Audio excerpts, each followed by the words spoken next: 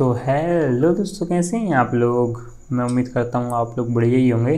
तो दोस्तों, आज की इस वीडियो में अपन लोग स्पीड टेस्ट करेंगे रेडमी नोट 10 प्रो और आई क्यू के Z three five G smartphone के बीच में। देखेंगे इन दोनों फ़ोन में से अपन को कौन सा फ़ोन ज़्यादा फास्ट देखने के लिए मिल रहा है। तो वीडियो बहुत ही ज़्यादा इंटरेस्टिंग होने वाली है तो वीडियो को एंड तक ज़रूर देखिएगा। तो चलिए इस वीडियो को स्टार्ट करते हैं।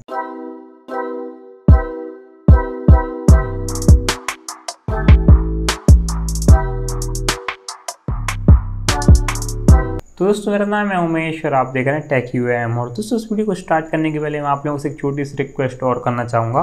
दोस्तों, इस चैनल पर मैं इस तरह से मोबाइल फ़ोन से जुड़ी हुई गेमिंग टेस्ट की वीडियो कैमरा कंपैरिजन की वीडियो स्पीड टेस्ट की वीडियोस बनाता रहता हूँ अगर आप लोगों को इंटरेस्ट इस तरह की वीडियोस में है तो आप मेरे चैनल को सब्सक्राइब कर कर बेल आइकन ज़रूर दबा देना, जिससे आपको इस तरह की यूजफुल वीडियोज़ की नोटिफिकेशन मिलती रहे। और दोस्तों, इन दोनों फ़ोन के कैमरा कंपेरिजन की वीडियो बहुत जल्द आपको देखने के लिए मिलने वाली है अपने चैनल पर तो चैनल को सब्सक्राइब ज़रूर कर लीजिएगा। तो दोस्तों, सबसे पहले अपन लोग इन दोनों फ़ोन के स्पेसिफिकेशन के बारे में बात करें तो दोस्तों हमको आई क्यू जेड थ्री के अंदर स्नैपड्रैगन का seven sixty eight G processor देखने के लिए मिलता है जो कि एक फाइव जी प्रोसेसर है और काफ़ी पावरफुल प्रोसेसर है। सिक्स जी बी रैम देखने के लिए मिलती है one twenty eight G B U F S two point two की स्टोरेज देखने के लिए मिलती है। वहीं पर हमको रेडमी नोट टेन प्रो के अंदर स्नैपड्रैगन का seven thirty two G processor देखने के लिए मिलता है, जो कि एक फोर जी प्रोसेसर है और थोड़ा पुराना प्रोसेसर है। सिक्स जी बी रैम देखने के लिए मिलती है one twenty eight G B storage देखने के लिए मिलती है U F S two point two के साथ में। तो स्पेसिफिकेशन वाइज तो अपना आई क्यू जेड थ्री थोड़ा ज़्यादा पावरफुल लग रहा है देखने में, पर अपन लोग प्रैक्टिकल टेस्ट कर कर देखते हैं कि कौन सा फ़ोन ज़्यादा फास्ट देखने के लिए मिलने वाला है। क्योंकि जो ऑपरेटिंग सिस्टम रहते हैं उनसे भी काफ़ी ज़्यादा फ़र्क पड़ जाता है। अपन को आई क्यू जेड थ्री के अंदर फन टच ओएस देखने के लिए मिलता है और रेडमी नोट टेन प्रो के अंदर एम आई यू आई देखने के लिए मिलती है, जो कि काफ़ी ज़्यादा लेगी होती है तो सबसे पहले अपन लोग इन दोनों फ़ोन्स को रिबूट कर कर देख लेते हैं कि कौन सा फ़ोन अपन को पहले रिबूट कर दे मतलब पहला कि कौन सा फ़ोन पहले रिबूट होता है मेरा मतलब। तो चलिए अपने टेस्ट को स्टार्ट करते हैं।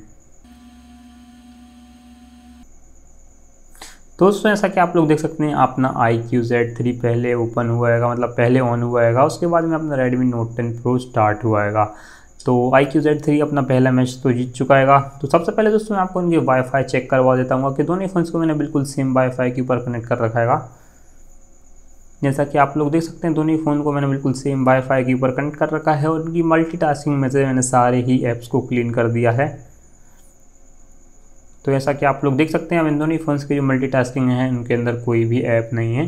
तो चलिए अब अपने टेस्ट को स्टार्ट करते हैं। तो सबसे पहले अपन लोग इन दोनों ही फ़ोन्स में स्पीड टेस्ट कर कर देखते हैं कि कौन से फ़ोन के अंदर अपन को ज़्यादा स्पीड देखने के लिए मिलती है इंटरनेट की। तो ये मैंने स्पीड टेस्ट ऐप पर क्लिक किया। दोनों ही फ़ोन्स के अंदर और लगभग अपने आई क्यू जेड थ्री ने इसको पहले ओपन किया है तो इसी में अपन लोग सबसे पहले ट्राई कर कर देखते हैं कि कितनी स्पीड देखने के लिए मिल रही है।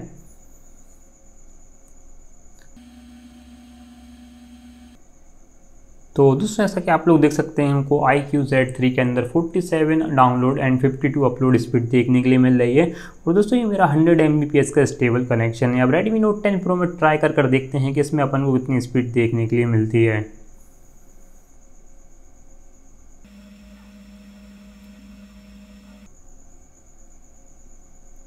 तो दोस्तों, ऐसा कि आप लोग देख सकते हैं, हमको Redmi Note 10 Pro के अंदर 74 डाउनलोड एंड 105 एमबीपीएस की अपलोड स्पीड देखने के लिए मिल रही है। क्योंकि दोस्तों, मैंने दो तीन बार ट्राई कर कर देखा है, लगभग आपको ये रिज़ल्ट देखने के लिए मिलता है। तो स्पीड के मामले में अपना Redmi Note 10 Pro थोड़ा आगे निकल जाता है आई जेड थ्री से। अब इंस्टाग्राम खोल कर देखते हैं कि पहले किस फ़ोन के अंदर इंस्टाग्राम ओपन होता है, ये मैंने टैप किया। और आई क्यू जेड थ्री के अंदर अपना इंस्टाग्राम पहले ओपन हुआ था। फेसबुक को ट्राई कर कर देखते हैं। फेसबुक तो नहीं फ़ोन्स के अंदर लगभग सेम ओपन हुई थी। अब अपना यूट्यूब ट्राई कर कर देखते हैं कि यूट्यूब कौन से फ़ोन के अंदर पहले ओपन होगा। तो जैसा कि आप लोग देख सकते हैं, अपने आई क्यू जेड थ्री के अंदर अपना यूट्यूब पहले ओपन हुआ था। दोनों के अंदर अपन लोग एक वीडियो चलाकर छोड़ देते हैं, जिससे अपन को रैम मैनेजमेंट का आइडिया लग जाएगा।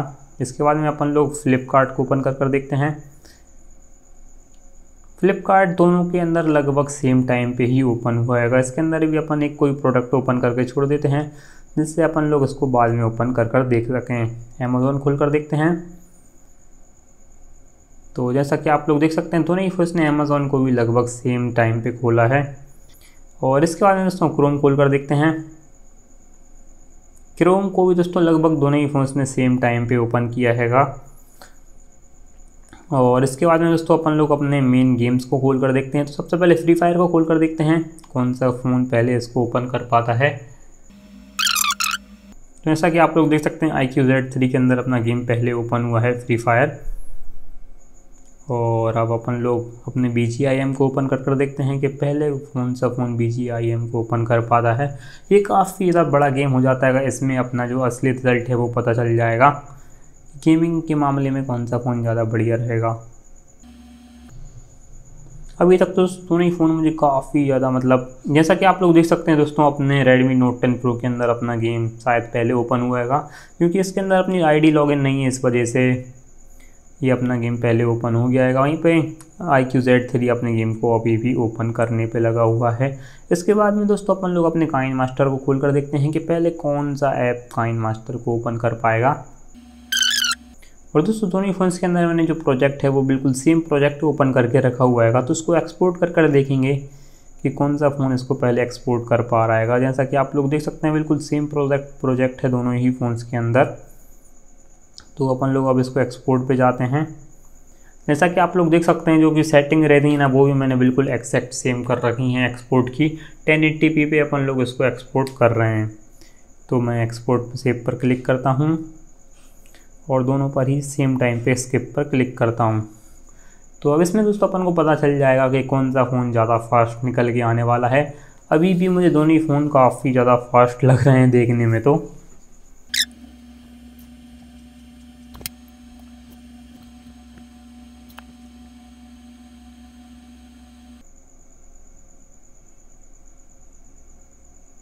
तो दोस्तों, ऐसा कि आप लोग देख सकते हैं अपने आई क्यू जेड थ्री ने अपनी वीडियो को काफ़ी ज़्यादा जल्दी एक्सपोर्ट कर दिया है।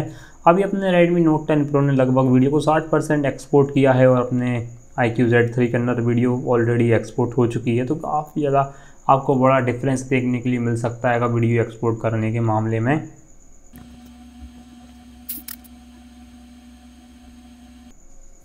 तो जैसा कि आप लोग देख सकते हैं अब जाकर अपने Redmi Note 10 Pro के अंदर अपनी वीडियो एक्सपोर्ट हुई है तो लगभग आपको 50 सेकंड का फ़र्क देखने के लिए मिल जाएगा वीडियो एक्सपोर्ट करने के मामले में।